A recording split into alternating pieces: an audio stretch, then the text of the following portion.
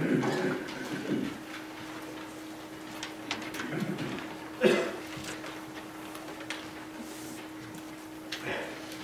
blessed by this series.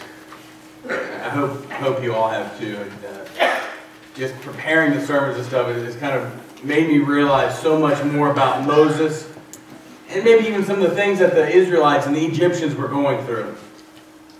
This series is going to come to a close real soon, but for today, it's not over yet. I think it actually comes to a close next week.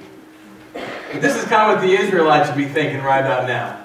They've just crossed over that Red Sea on the bottom, on dry land, walls of water on each side, and they've made it to the other side. They're starting to look around and say, hey, things have changed, things are different. We've escaped slavery, we've escaped the Egyptians. See, they, they thinking, they're thinking at this point that the end is near. Or is it? Or is it? A couple examples of when you think the end is near and it's not. Back in 1986, one of the most famous World Series ever, and probably the most famous error of all time. Many of you might have watched that game. I know I did. I was eight years old watching this and I saw Bill Buckner, a former Cub, let that ball go between his legs. If he had just caught that ball, it was over. It looked like it was over. All he had to do was pick it up, step on first base, and Boston Red Sox are going to win the World Series. But instead, it went through his legs, and the New York Mets scored, and they scored again. And then the next night, they won the World Series of 1986. The end was near, or was it? That's one example I got for you. How about this next one? Lawnmowers. Now, you know what? I thought we could, there's so many illustrations we could use this week, but I'm sick of snow illustrations. Amen? Let's use some lawnmower illustrations. Uh, knew a guy once that owned a hardware store, and he said that the most popular thing that he heard people say when they bought a lawnmower was, I hope and I think this is the last lawnmower I'll ever buy.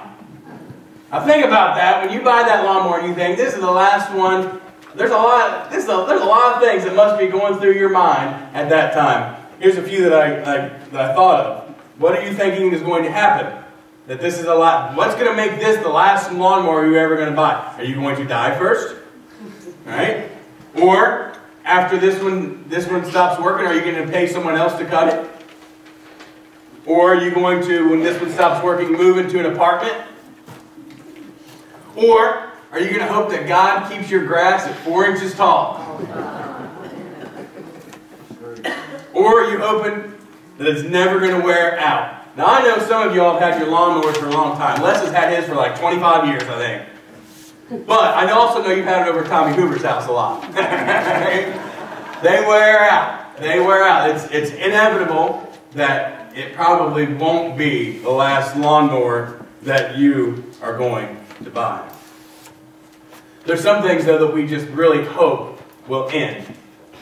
Like this week.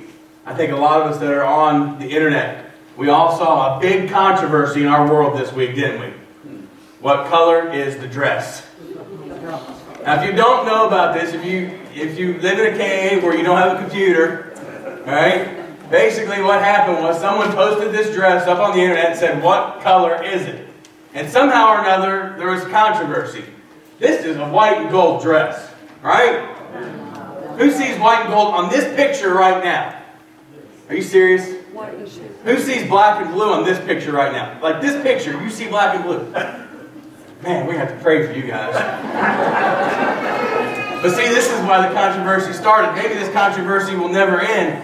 I think there's something with the picture that they took, obviously, because in all actuality, this dress, they said, is black and blue, not white and gold. But the picture I see right now, that is white, and that frilly stuff is gold. There's no doubt in my mind that's what I see.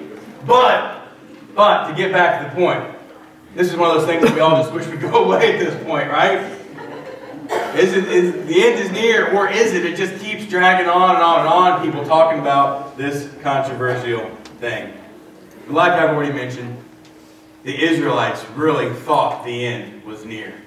But really, they had a long way to go. They really, really hoped the end was near, maybe I should say. They were thinking, this is it, we've done it, now all we got to do is walk into the promised land and take our rightful spot. They're looking back and they're saying that Pharaoh is defeated. We've, we've left Egypt. We're no longer slaves. We've seen all these plagues. They've endured all of them. We've endured some. We've seen the Red Sea part. In fact, there's a whole Red Sea full of Egyptian soldiers right behind us to prove that God is on our side. We're following that pillar of cloud. We're following that pillar of fire. We've got it good. Let's sing some songs of praise. That's one of the most important things that we can all do, isn't it? Sing songs of praise to our Lord. We've done that today already. I hope you all enjoyed it today because I really enjoyed leading today. And that's exactly what the Israelites are going to do. They're going to look back and they're going to say, Wow! Look what God has done in our lives right now. Look around you. Look at all the awesome things that are happening. Let's sing. Let's rejoice. Let's celebrate. If anything, they're going to make a sigh of relief. Just, ah. You know Moses is making that sigh of relief. They've been on his back. Oh, thank you, Lord. You made it. You've helped us through. Now we're in here. His sister Miriam, she's going to lead some singing, some dancing, some rejoicing. They're going to get tambourines out. They are going to worship God all night long. It's going to be amazing. Amazing. And you know what they were doing when they were singing and dancing and rejoicing? They were focused on worship. They weren't saying, oh no, look who's leading. They weren't saying, oh no, look, she's using the tambourine. They weren't saying, oh no, they clapped during the song. They, they, weren't, they weren't saying, oh no, what kind of song are we going to use to sing God? Is it a new song? Is it an old song? No, they didn't care about any of that. They cared about worshiping God. Why are you here today? Why are you here today? Is it because you like the old music? Is it because you like the new music? Is it because you like the band? Is because you were hoping to hear a trumpet player? I'm sorry, next week I'll be back with the trumpet. Are you here because you wanted to look and say, this is what I don't like and this is what I do like? Or are you here to worship God? I promise you, every song we sang today and will continue to sing in this church worships God. Ladies and gentlemen, that's why I want you to be here. Not to be critics, not to have, uh, you know, just your way, but instead to worship God. That's our mission at this church to worship God, to reach people, and to worship Him with everything that we do, everything that we play, everything that we sing, every move that we make in our lives, with singing, with dancing, and rejoicing. Exodus 15 20, I will sing to the Lord, for He has triumphed gloriously. Has God triumphed in your life? Has God triumphed in your life? He has mine. Oh my goodness. Thank you so much, Lord, for triumphing in my life. I know I've got a long way to go still. I'm still, I'm still running that race, but when I look around, I see something. I'm winning the race because I have Christ in my heart. Because I know that Jesus forgives each and every mistake that I make. I say, praise God to that. And I say, things are looking up. Oh, things are looking up indeed. Whenever I look at my life and I say, I'm so glad I've got Jesus in my heart, I know that things can only look up from here. This is kind of where the Israelites are. They're looking and they're saying, good times. We've had some good times, and now let's continue these good times. Just think back now to all the good times you've had in your life. With your family, with your church, because of your faith. Man, we've had plenty of good times in this church. We're going to continue to have a lot of good times. I expect more good times soon. There's no better time we have here than when someone gives their life to Jesus. Amen? Amen. And we recognize that victory. We recognize it in our own lives, we recognize it in the lives of others. It's not too hard to recognize the fact that we're winning that race. And when we get that sense of confidence, we feel like nothing can stop us now. Nothing will stand in our way from reaching out to a multitude of lost, to a multitude of people that don't know Jesus, to, to continuing on our road to victory and bringing everybody that we can with us. Nothing can stop us now. But we need to keep remembering that looking up with an optimistic Christian attitude is very important. We've got to have that optimistic Christian attitude throughout our lives. Not negative, not going to be negative. We're going to be optimistic. We're going to be positive thinkers. We're going to say, yes, we can reach people, and yes, I can continue to live my life as a Christian. But, unfortunately, for the Israelites and for just people in general, we can't help ourselves. Sometimes we grumble. Let me tell you something. God hears you grumble. He does.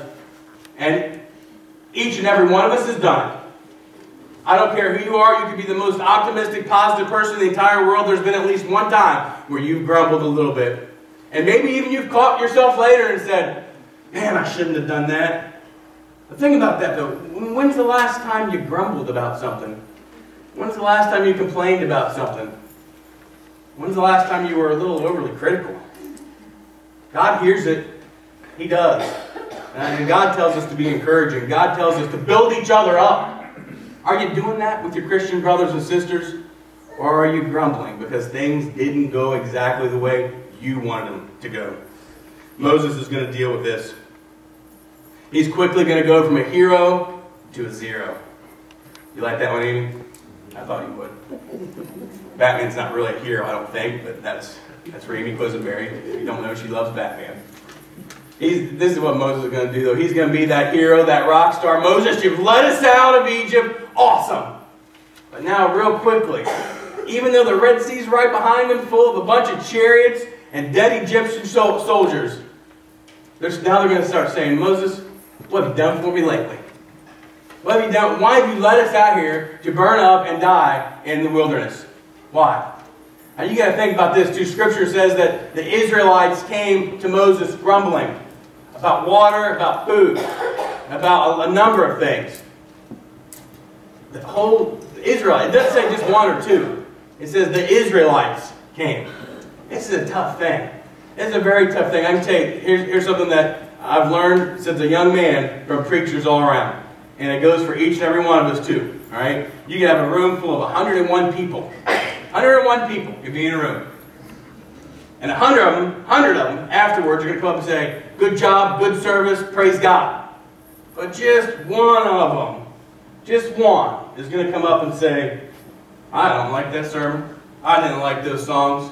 I didn't like the way offering or communion meditation went. I didn't like the tie you had on. I didn't like that you didn't have a coat on. Your shoe looks kind of old. It is. You know? I didn't like the illustration you used. Whatever the case may be. All right? That's just, that's just me from a preacher example. Guess what I'm going to think about when I go home?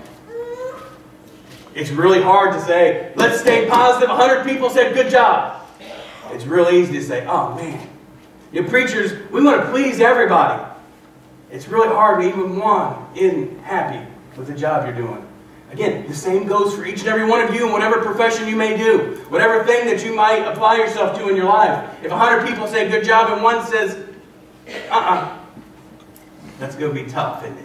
That's what you're going to think about. That's what's going to bother you the most. So now let me ask you, are you the one behind the one in 100 versus 1?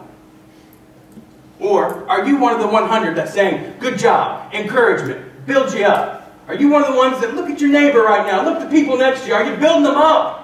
Are you saying, keep up the good work? Are you saying, let's continue to work on this faith thing together? Or are you saying, eh, I don't know about this one. Are you the one behind the one in 100 versus 1? I think that's something that we all need to reflect upon. Because I, I have a sneaking suspicion that we've all been that one at some point in our lives. We've all been that one. We got to make sure that we're not. I'm not saying that we just have to go do what everybody else is doing. I'm not saying that. I'm not saying that it's not okay to have some constructive criticism sometime for everybody. That's okay too. But are you negative? Are you negative? Think about that. I think that's something we all need to reflect upon this week. It's, uh, it's going to be real hard for Moses, though. He's going to have a bunch. And here's, here's something I thought of. I wish I had a picture of this, and I don't. But Moses is dealing with these people they don't know what he's gone through. They don't. They haven't been in leadership. They haven't done the things that he. He is God's chosen man here. God has chosen Moses specifically to lead. There's no vote, right? It's not a dictatorship, but Moses is in charge. He's the guy that God has put there. But now you've got some people coming up. They know better. They know better than Moses. You know, they're not God's chosen person, but, but they definitely know better. Uh, I can just see someone coming up to Moses and saying, Moses, you know, I think that this is the way you ought to do it. I think I should know. Uh, because one time I had a sister's cousin's uncle's brother that was in a similar position as you. I think that, that I should know exactly what's going on. Oh, and by the way, I did stay at Holiday Inn Express last night. I thought I'd get a better reaction for that. I don't know. It's real, real easy. You know, uh, Andy doing this Boy Scout thing. Uh, Andy works with the railroad still, right, Andy? How, how would it be if I went up to Andy and said, you know, Andy, let me tell you about the railroad. I should know I've been on a train once or twice.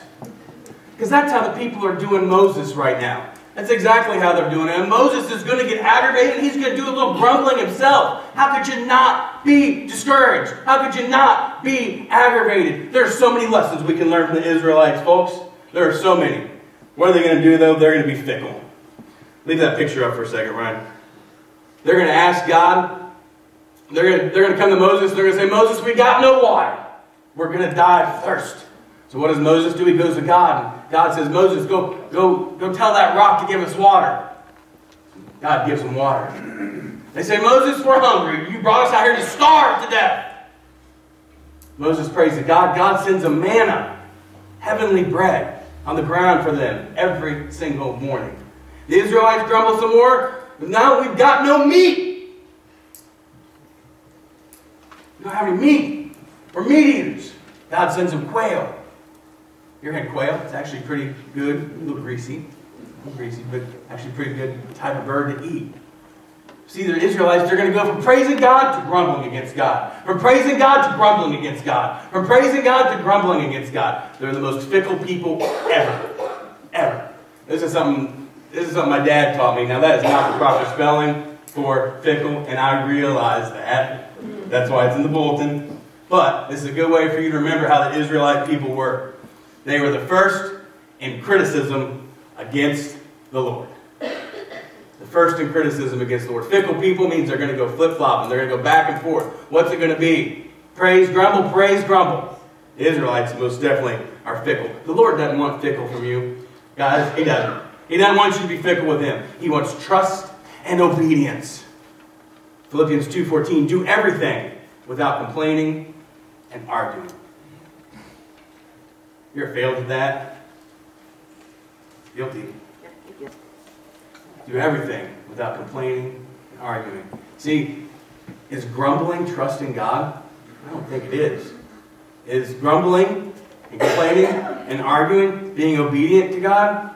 Not according to Philippians 2.14, it's not. Trust and obedience. But you know what? Here's the good thing we're going to have one more victory. Once again, God's going to have one more victory. Because He's going to get the people through that. And now they're going to face another task. Now they're going to face an army. The Amalekites had come, and they were going to make sure that the Israelites did not come into their homeland, did not get to where they were trying to go. The Amalekite army was bigger and stronger and tougher. But don't forget, don't forget, with God on your side, you can accomplish anything. And God's going to tell them to stand strong for victory. Oh, and there's one more thing, and I've got some uh, volunteers. I kind of forced them into it a little bit, but I could get Brandon to come up, Sam, Hunter. These guys are going to help me with a little illustration today. Let's not forget the mighty staff. I want you to stand right here. I don't want you to stand too far behind me because I don't fully trust you with this in your hand behind my back. Take this staff, Brandon. You guys can just have a seat for right now. Now, God tells Moses, God tells Moses, you're so happy to be up here, aren't you? Tells Moses, He says, Moses, go up above that hill. You're going to send your armies out in the battle, and as long as you hold my staff above your head, your armies are going to win. Put the staff above your head. Now hold it up there real high for me. And what we'll say is, as long as you have that staff above your head, I'm going to preach a good sermon here on this third point. If that thing starts to drop, though, I might just start to muddle it up a little bit. So keep it up. All right, keep it up for me. I know it's probably getting a little heavy on you already. That thing has got to weigh at least, what, 30, 40 pounds. God tells Moses to stand on that hillside with that, that staff over his head and to stand strong. Ladies and gentlemen, are you standing strong? Are you giving God one more victory?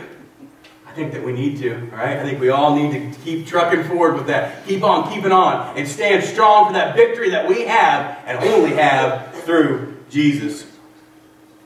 But the fact is, you can imagine now, fast forward for me just a little bit. Moses is up there for hours. His arms start getting really tired. But, but, sometimes we need a little help from our friends. Moses' brother Aaron and one of the elders, or Hur, come up and they start holding up his arms. Just each of you grab an arm and kind of hold him up there. Don't let those arms fall. We want that victory today. But it even gets worse. It even gets a little help from friends goes a long way, doesn't it? Those moments that we really think, oh, I'm really starting to fall away from my victory through Jesus. That's when we have our Christian brothers and sisters right there. That's when we have our church family right there by our side to say, hey, it's going to be okay. We're going to have some victory. Quit the grumbling and praise God instead. Let's sing some songs of praise. He gets so tired he has to sit down on a rock. Don't put the staff down. Now come on. You guys keep holding his arms up for him. Now, that helped a little bit, then holding your arms up right. You can imagine how Moses must have felt that day, though, having a staff bigger and heavier than this one for hours over his head. That would have definitely, he, he would have definitely built some uh, triceps up, you know? He would have been a lot stronger maybe the next week. The fact is, as long as he held that up there, Israelites are winning. If he starts to drop it a little bit, they start to lose. But it's just the same thing for us. This is just a great illustration for us in our lives. Luke 2.19 By standing firm, you will win life. When Moses stood firm with that staff over his head, Israelites won the day. If you stand firm in the Word of God and know you don't have to hold it over your head, but you do have to hold it in your heart, you will also win. Thanks, guys. Round of applause for these guys. It's okay. We're going to be all right. War's over. so, as we come to a close today, again, thanks, fellas. I appreciate you. Let me put you on the spot like that. As we come to a close, let me ask you, are you on again, off again? Are you one of those that prays and then grumbles and then praises and then grumbles? Things are good, things are bad. Things are good, things are bad. Are you someone that thinks they know better than everybody else? Are you someone that wants it just your way? And that's it. Are you someone that comes here to worship God? To do whatever you can to help this congregation, this church, reach out to people that are lost. I take one thing for granted right now. There's some of you out there who still need the Lord. But every one of you are here today because you wanted to be here, because you chose to come in here. No one forced you to be here today. I say, praise God for that. But you know what else I said? I said, if you don't have the Lord in your heart. Today is a good a day as any to give us a reason to praise God for that one more victory. This is the last thing I want to leave you with. That optimistic trust and obedience will give you victory through Christ. Notice I didn't say it may give you victory through Christ. Optimistic trust. Don't, don't trust him negatively. Ladies and gentlemen, don't, don't do that. Instead, look at what we've got. Look at the victory that we have through Jesus. I praise God for our family. I praise God for my family. I praise God for my church family. I praise God for our heavenly family. And the only way we can do it is through optimistic trust and obedience through Jesus. Let's pray. Most gracious Heavenly Father, we thank you so very much for this time that we had to come together and to be optimistic as a church family. Lord, we know that sometimes we grumble. We're so sorry for that, Lord. Forgive us for that. We know that you've asked us not to grumble, but still, Lord, in our, we're humans, we, we mess up, and we're so sorry. Help us to instead to look up with optimism each and every day and know that we are here. We are part of this church family to worship you, to optimistically trust you. And Lord, most importantly, to, to be obedient to you. Just now, Lord, I ask that you will touch at least one person here today. Lord, maybe, maybe today is the day that someone will come down the aisle and give their life to you. Or maybe today is the day that someone sitting here with us right now, one of our church family, instead just has that moment of strengthening that they need. Lord, I ask that you will help us to continue to grow as a church family, grow stronger and more obedient. Lord, we love you. We ask all these things in your Son, Jesus, who gives us life, in most precious name. Amen. Would y'all please stand we have our hymn of opportunity? Like I said, today is just a great opportunity to give God a reason and the angels a reason